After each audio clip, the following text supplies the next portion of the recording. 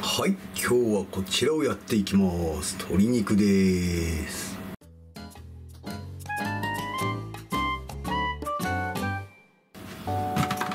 で今回はねまずはまな板の上にラップを引きます。そうしましたら皮の方を広げましてこれにクレイジーソルトこれを振っていきます。ひっくり返しましてこちらにも同じく。結構きつめにやっていいですよ。つまみとしてやろうと思ってるのでちょっとしょっぱめにしたいなと思っております。でまああとは好きなスパイス類やりたければバジルを追加したりとか適当にお好みでやってみてください。あとはこのまま巻いていきます。皮が内側に来るように巻いていきます。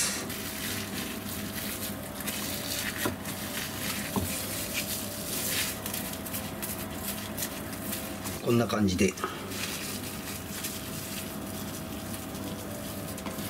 でこれで冷蔵庫で寝てもらいます。では一晩。はい。一晩経ちました。こんな感じです。でねこのままあの燻製器入れちゃうとまた開いちゃうんでちょっとこれで一回火通します。でお湯用意してこれにちょっと5分くらいですか火を通してしまいます。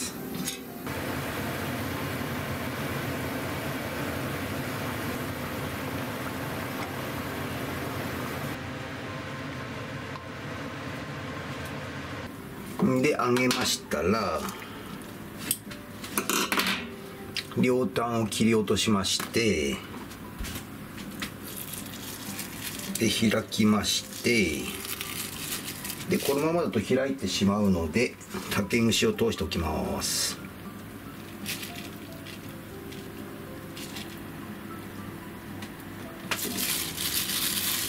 スモーカーにはねこんな感じでぶら下げます。はい。こんな感じでスモーカーにセットしました。セットしたので電熱器の電源オンで温熱乾燥していきます。はい。温熱乾燥終わりです。もうだいぶ火も入ったと思うのであれから4時間くらいですかね。多分中まで火が入ってます。はい。では乾燥もいいようなので。桜の木を乗せてこのままいぶしていこうかなと思います。まあこれねあの間伐材というか薪で買ってきた桜の木です。まあチップもあるんですけどこれでもいけるのでこれでやってきます。はい。こんな感じです。ツヤツヤでうまそうです。あとはね風乾していきますのでこのままだとねちょっと燻香が強すぎるので。はい。上がりです。こんな感じですね。あのこれ広げてやっちゃうとあのほら表面が乾いちゃうんですよ。で皮の皮のね端っこの方とか硬くなっちゃうんですけどこのやり方ですと中に巻き込んでるで中の方はもうしっとりしてると思います。では断面を。ああやっぱりしっとりですね。こんな感じです。ああいい感じですね。どうですか？いい感じこれはうまそうだ。お味見を。いただきます。うん。外のあの燻香で中がふっくらジューシー。うん。燻製ですけどこう中しっとりタイプなんで。水気が多いとなやっぱ日持ちはしないんですけども。うん。これはこれでうまいです。まあこうきましたらこんなのなんてどうでしょうか。2022年度の荒政です。コスモス。秋田のお酒ですね。まあご存知の方はご存知でしょうが。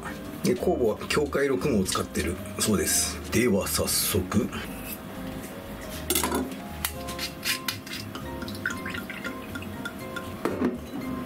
ではまず。ああいい香りだ。うわうまっ。めっちゃフルーティーですねこれね。うんフルーティーだけどなんだこれブドウじゃない違うフルーツの香りですね。桃とかそっち系のような香りがしますね。へえすごいっすね。あらまさ初めて飲んだんですがへえ桜あ書いてますね。香りは非常に控えめでさくらんぼアセロラ白い花といったニュアンスが感じ取れる。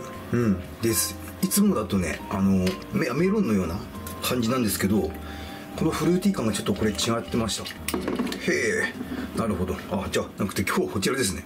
ではこちらのこう油だまりがあるようなとこ行ってみますか。ではもう一切れいただきます。うん。鶏油だ。うん。あでこのフルーティーなのと合わせると。うん。これあうんうまい。うん。合わないわけがないうん。あこれだとうちのかみさん多分びっくりしますよこれ。うん。これはうまいわ。うん。両方びっくりな美味しさです。でこのままややるのもあれなんで、味変としてはこれは定番でしょう。で今食べてて思ったのがこんなのなんかそのままやるといいかと思います。普通にね4等分くらい、まあ、ちょうど上がるくらいの大きさでいいんじゃないですかね。してあげて。こんな感じでで胡椒ではいただきます。うん。あれですねおしゃれなおつまみですもん。うん。これはうまいわ。うん。で口の中にあるうちにこれを流し込むと。うん。これはうまい。またいっちゃいますね。